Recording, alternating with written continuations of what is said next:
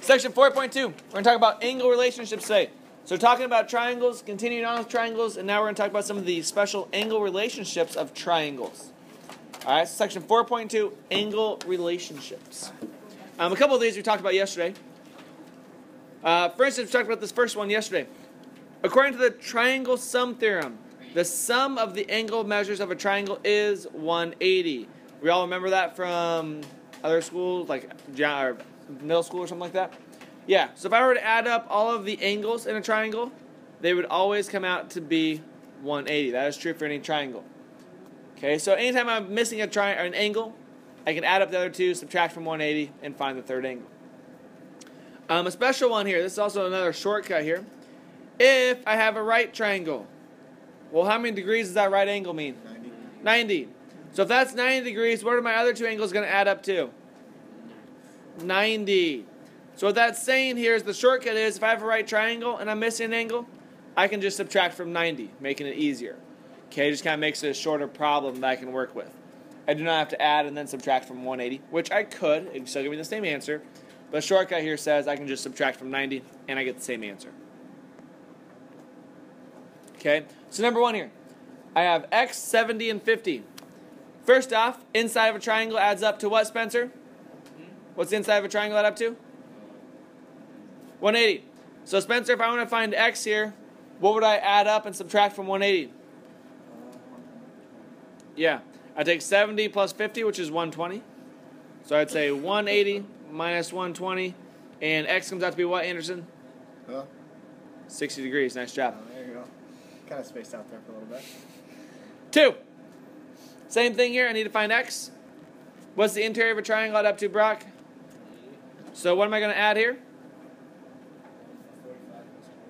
So I get 150, right? So 180 minus 150. And what do I get there, Brock?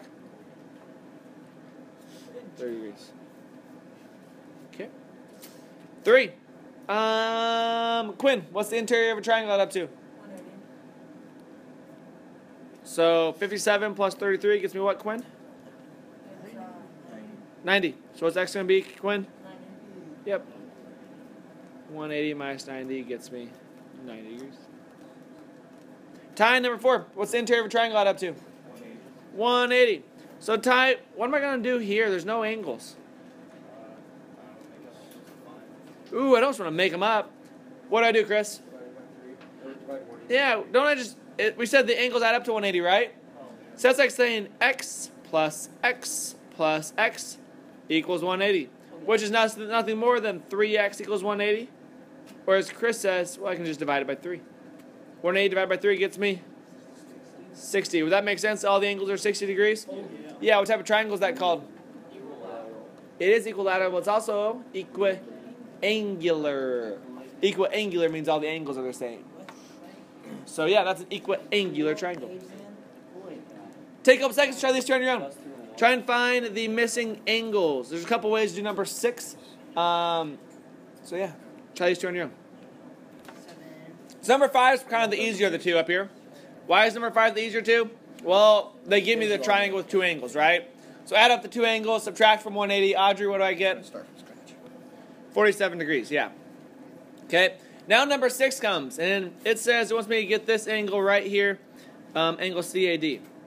Well, a lot of you are looking, you're looking at this triangle right here probably, right? Yeah. And a lot of you are like, mm, they only give me one angle. So that's a problem.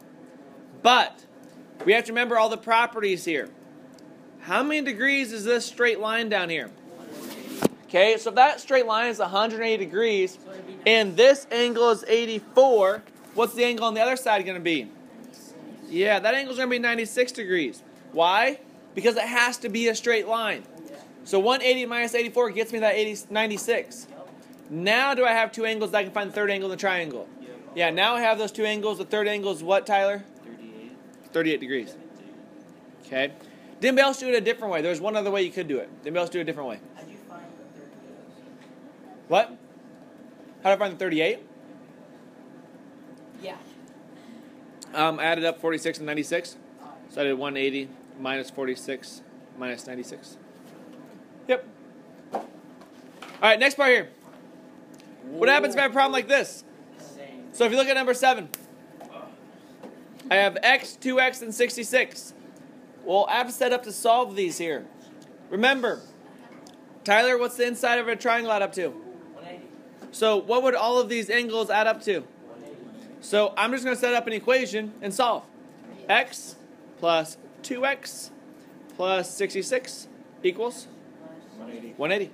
So x plus 2x is, 3x. so I get 3x plus 66 equals 180. Subtract 66. 3x equals 114. End up with x equals what, 38? 14. So I had 38. Now I take that 38 and I plug it into my angles up there. I have 38 degrees, and the other one is 76 degrees. Again, the big thing there is to recognize what's the triangle up to? 180. Number eight here. Um, how would I set up number eight, Caden? So, Caden, how would I set up number eight here to solve this? You would take Shh. What's that? Is that x plus 5? Yep, so x plus 5 plus 2x minus 21 plus plus 85. equals. Nice job. And now I work out the algebra problem here. So x plus 2x gets me 3x. 5 plus 85 is 90. Minus 21 gets me 69. Equals 180. So I have 3x plus 69 equals 180. Subtract 69 to both sides. You get 3x equals 111. Or x comes out to equal 37. 37. Now I take that 37 and I plug it in. Gives me angles of 42. And the other one is, is it 53? 53. I do want you to plug them back in to get the answers. Yep. Well, like, like if you put it x equals 37 for the answer, give us also. I want you to plug them back in and get the angle measures. Yep. All right. So using that same idea, try numbers 9 and 10 on your own. Now number 9 says just to find the value of x. 10 says to plug it back in. So this is a two-step problem. Does that make sense, Brock? So 9 solve x, 10 plug it back in. All right. So yeah, take a couple seconds, try this one on your own. All right, so number 9 here. Callie, set it up for me. How would you set it up? Shh, gentlemen. 7x minus 13 plus 2x plus 2 plus 4x plus 9 equals 180. I got them all. Then you add a 2 This is a long problem. Okay, when you work it out, then you get x equals what then, Callie? 14. X equals 14. You plug them all back in. Callie, what do you get when you plug them back in? I only have 2. I Okay, what do got? 30 and 85. So S is 30. Oh, they, they're labeled? Oh, that helps. R was 85. T is 77.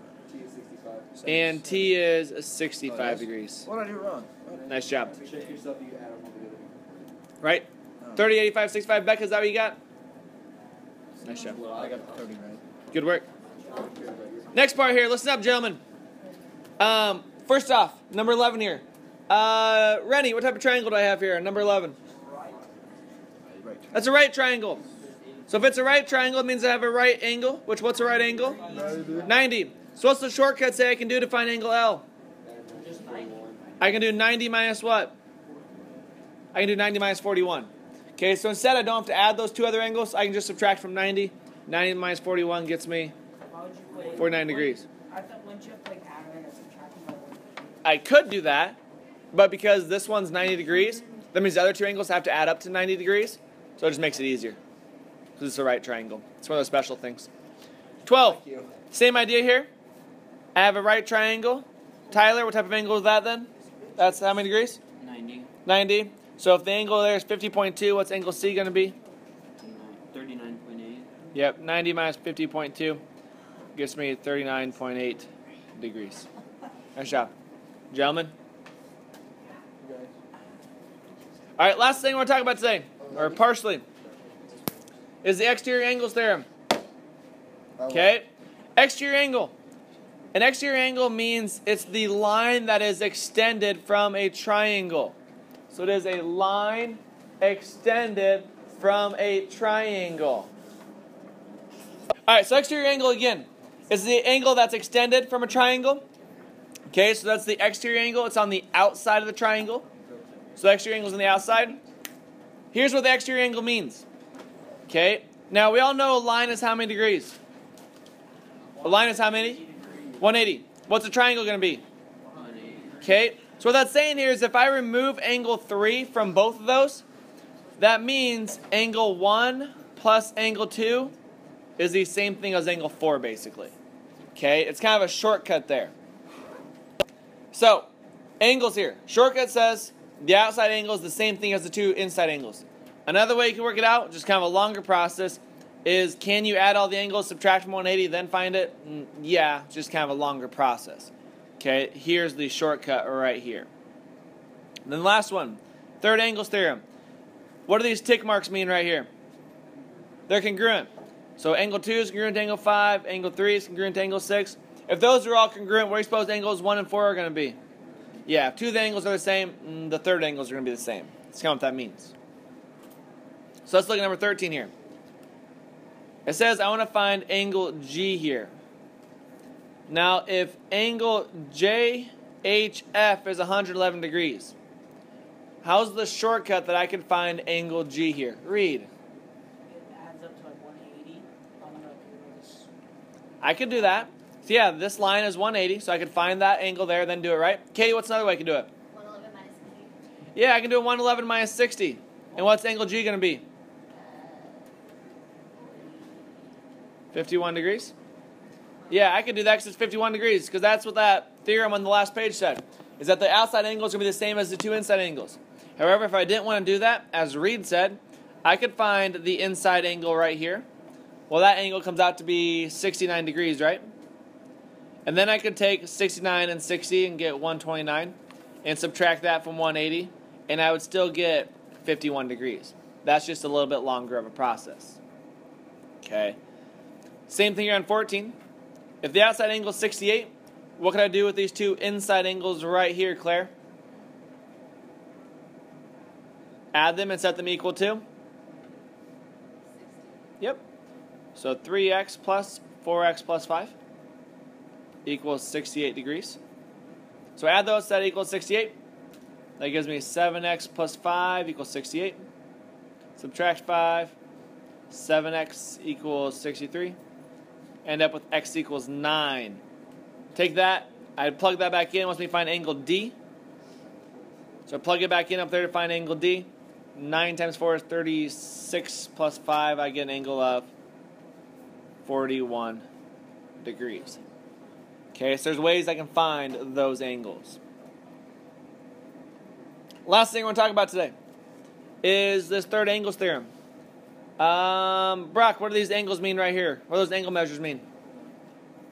What those little tick marks there mean? They're congruent. What about K and N? So if those two angles are both congruent, what do you suppose M and Q are going to be? So how would I solve that, Brock?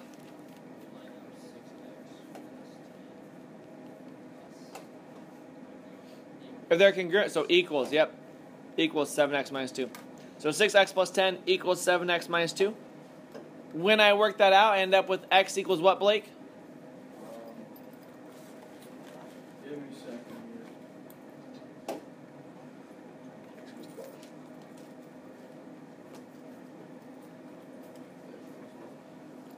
Yeah, 12. Yep, you get x equals 12. Then once you find measure of m or angles m and q, so I plug that in. 12 times 6 is 72. Plus 10 gets me 82. Plug it into the other one. 7 times 12 is 84. Minus 2 is still 82 degrees.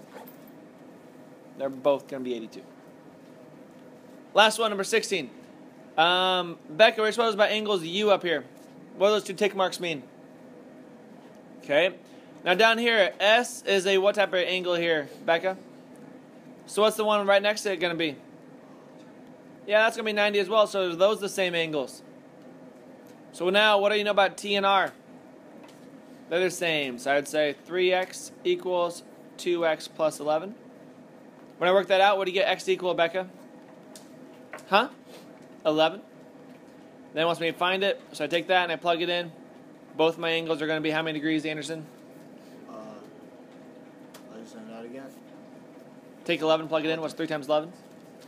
Uh, 33, And what's 2 times 11 plus 11? 22, 33. 33 degrees, which makes sense, right? They should be the same. So there's that. And there's your assignment.